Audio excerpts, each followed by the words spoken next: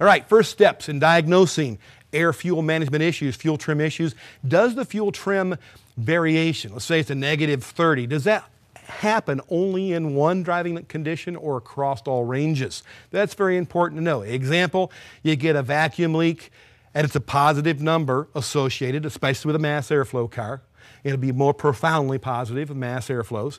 So you see, let's say positive 20%, we're adding fuel, but then you go above idle. You get into 1500, 2500, numbers you need to run different ranges as you idle it in the shop, rev it up, and go on road test and so forth. Watch the trim doing under different conditions. As you rev it up, and that trim goes from a, a positive, uh, 15 or 20, adding fuel because maybe a vacuum leak, that number comes back down again because vacuum leaks don't have the profound effect on air fuel management when you get above idle because a little tiny hole in a gasket or a vacuum hose has fallen off, whatever, is a very small percentage of overall air usage when that throttle is open quite a ways and we're pulling a bunch more air in. Conversely, if you have fuel trim numbers that are normal at idle, but when you get on the road on a road test, they start falling apart and the numbers keep tracking up, tracking up, or adding fuel.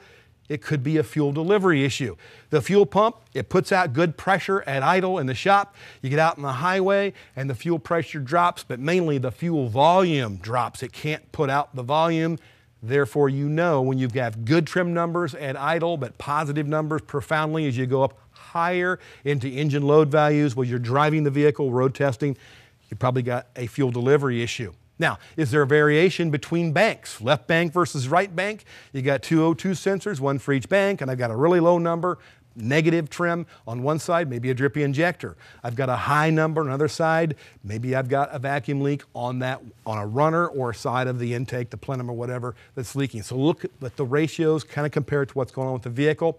You can have a mass airflow sensor problem, by the way, it's a weird deal. And I really can't explain why, but you can have a mass airflow sensor with an issue and affect only one bank's fuel trim.